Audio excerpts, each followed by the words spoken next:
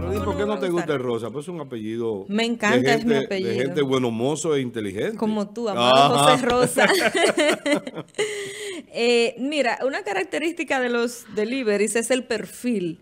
Eh, ah, físico, como que son todos como flaquitos, como con un pajoncito, los pantalones como aquí debajo son y con el abrigo sí.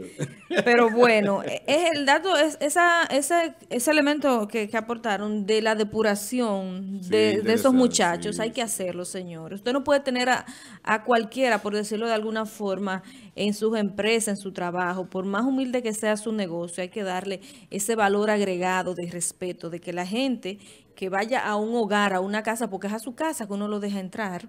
Entonces, es bien delicado. Si yo tuviera en la Procuraduría, le ofreciera al comercio franco, claro, no lo digo, ¿verdad? Sino si yo estuviera, le ofreciera al comercio franco macorizano la posibilidad de hacer esa, esa depuración gratuita. Porque la Procuraduría General de la República tiene un sistema interconectado donde tiene toda la información. Porque la gente de eh, ¿cómo se llama? De los, los buró de crédito, cobran, cobran por cada por cada vez. Revisión, claro. Pero yo lo daría gratis con la finalidad de que empleen gente honesta y honrada en esas labores. Muy bien.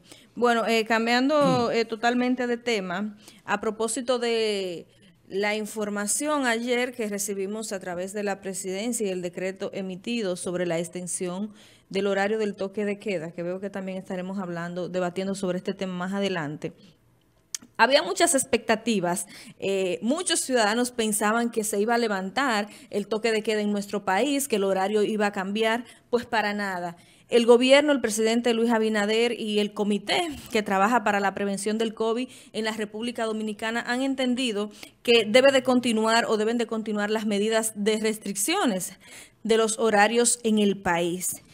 Mucha gente no está de acuerdo, piensa que no sirve para nada, que no funciona, que para qué, que la gente anda en el día, que la gente bebe en el día. Pero en la noche, eh, básicamente lo que se hace son actividades sociales, compartir, comer, beber, juntarse con la familia, con los amigos, cosa que pueden esperar en estos momentos que tenemos de prioridad de salud. Eh, un dato interesante que se da en torno a esto es la fecha en que culmina el toque de queda. Es el 20 de el primero de diciembre, estos 20 días. La pregunta es, la siguiente. ¿Cuándo, podemos eh, traer un poquito para acá muchachos, eh, el monitor, cuándo va a levantarse este horario de toque de queda para las fechas festivas? Es decir, los comercios, las expectativas en torno a que el mes de diciembre sea desplazado, todo lo que tiene que ver con las restricciones por el tema del COVID son muchas. Hay mucha presión eh, por diferentes sectores comerciales y empresariales. La gente también está un tanto agotada de este toque.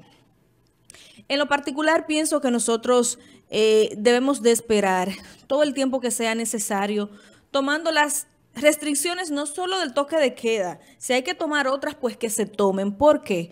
Porque la única manera de nosotros poder, la única manera de nosotros poder controlar un poquito esta enfermedad, señores, que, que se ha llevado mucha gente y que continúa matando gente porque continúa haciéndolo a propósito del alza de los contagios y la tasa de positividad que hemos visto en las últimas semanas la ocupación de las camas en los centros privados y públicos ha aumentado en comparación con las cifras anteriores. ¿Por qué?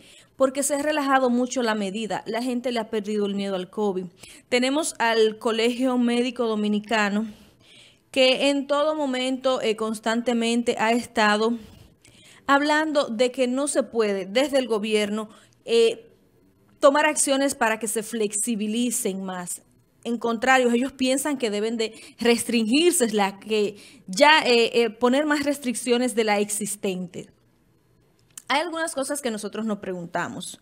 Hay provisiones que es básicamente que ya a las 9 de la noche usted tiene que estar en su casa, que los fines de semana tiene que estar en su casa y demás. Otra de las cosas que se toman es el uso de las mascarillas, que hay negocios o comercios que no te permiten entrar sin ella, eh, que debes de tenerla en las calles y demás. Pero más allá de esto, en el compartir, en la beventina y todas esas actividades sociales que se dan, pues este requisito no se cumple a cabalidad. Lamentablemente hemos visto, observado en países cómo ha vuelto para atrás esta terrible enfermedad. Los niveles de contagio, por ejemplo, y de muertes en países como Italia, aún continúan ahí y con cifras que sí, aún bien mucho menor que las de eh, cuando estaba bien fuerte el brote en este país. Señores, que se mueran 200, 300 gente diaria, eso es mucho. Esto es mucho y no hay forma de evitarlo que más que la prevención y el cuidado de tener este artefacto que se llama mascarilla y usted utilizarlo. No estar abrazando, ni besando, ni saludando gente, porque no es tiempo para eso. Otra de las cosas que nosotros eh, pensamos es Luego de la apertura de este toque de queda, que entendemos que se va a abrir en diciembre, porque entendemos que se abrirá, porque la gente se va a desacatar, y a menos que, aunque la guardia siempre sale y este patrullaje mixto en temporadas de diciembre, eh, a menos que se arrecie mucho más, sería posible controlar tal vez un poco la gente.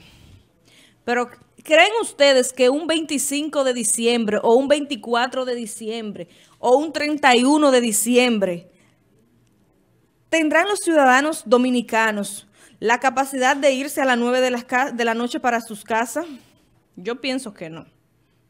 El que es sensato, el que es cuidadoso, el que piensa en su salud, en el de su familia, el que piensa en las consecuencias mortales que tiene este virus llamado coronavirus y que ha, se ha llevado muchísima de nuestra gente, lo hará.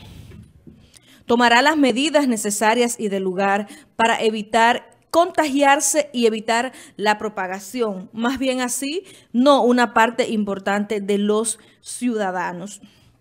Partiendo de toda esta apertura que tenemos casi en sentido general, porque siempre digo, lo único que está cerrado en estos momentos son las discotecas en la República Dominicana. En el ámbito del turismo, ¿quiénes son los ciudadanos que están llegando del, extranjero, del exterior? Estadounidenses, europeos, y sabemos cómo está el COVID para allá. Aquí no se pide la prueba del COVID en los aeropuertos. O sea, el que está llegando a República Dominicana, si llegó contagiado, amén. Si no, también. Estamos hablando de que en las actividades como esta que vimos el domingo, el lunes, me parece que fue, eh, la actividad del Congreso de la Fuerza del Pueblo, el Congreso Profesor Juan Bosch, ahí habían cientos y cientos de ciudadanos actividades políticas de aglomeración que tú te preguntas, bueno, ¿es permisible esto? ¿E, e, ¿Es necesario de ver la, vida de seguir su curso? ¿Por qué no se toman algún tipo de restricciones? Ok, haz la actividad, pero no aglomeres la gente de esta forma. Ciertamente dije que no dio abasto, que por eso se llenaron tanto y demás.